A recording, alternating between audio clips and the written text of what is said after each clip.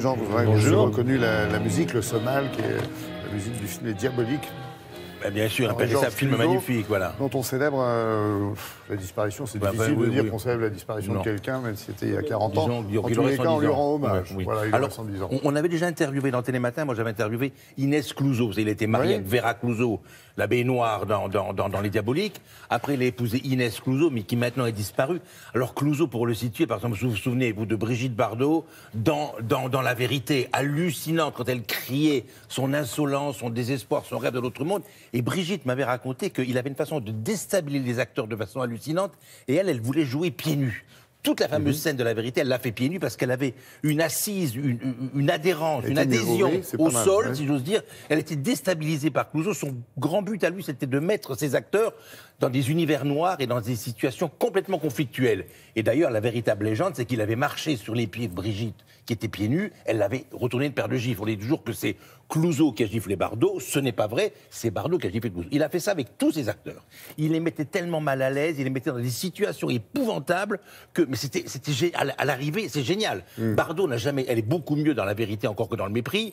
Tous les acteurs et les actrices de, de, de presque Clouseau, mais ils sont, ils sont formidables, ils sont formidables chez lui. Et alors, donc, on en parle pourquoi? Parce qu'il y a tous les films de Clouseau qui ressortent en salle.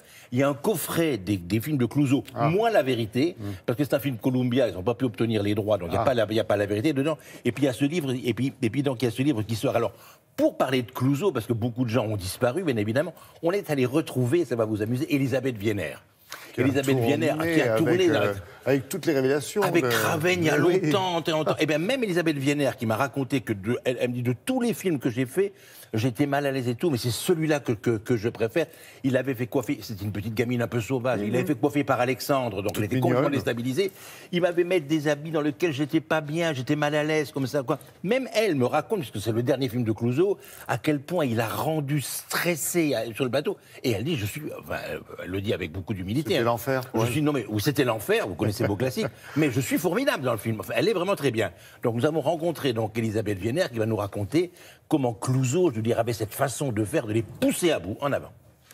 Attention, tu es prêt? Oui, moteur. D'accord. Pour moi, ce film, La prisonnière, ça a été un peu le top de ma carrière. C'était quand même un très grand metteur en scène et c'était un très grand rôle. J'ai été vraiment très flattée d'être choisie par Clouseau. Fallait bien que je fasse mon numéro. C'était très réussi. Merci. Clouseau était très directif. Il donnait aucune liberté hein, aux comédiens. Il n'y avait jamais d'improvisation hein, avec Clouseau. Parle-moi, dis-moi ce que t'as dans la tête. Mais non, mais y a rien. Mais si, dis-moi, tu gardes toujours tout pour toi. Il essayait effectivement de mettre une ambiance un peu trouble sur le plateau, un peu tendue, un peu malsaine. Et très souvent, il avait aussi une manière de monter un peu les gens les uns contre les autres sur le plateau pour euh, mettre un peu de poivre dans l'ambiance. Tu crois pas à l'enfer, n'est-ce pas? Depuis l'âge de 7 ans.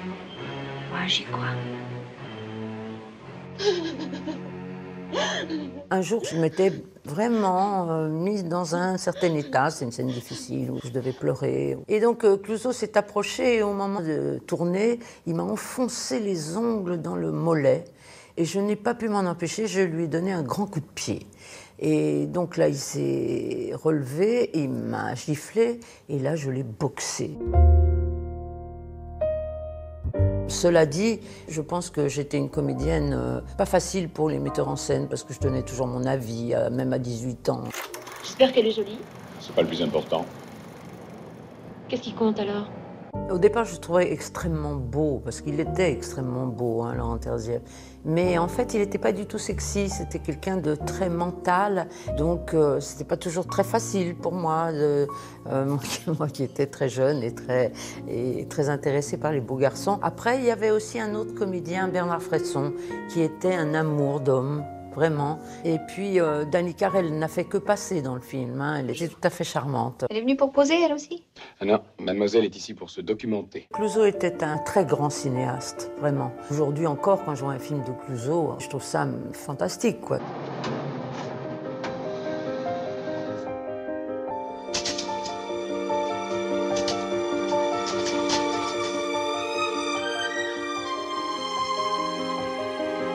Y a donc un bouquin, il y a une exposition qui dure encore à la Cinémathèque, ce gros coffret, tous les films sur la vérité, et en plus, Pâté sort Miquette et sa mère.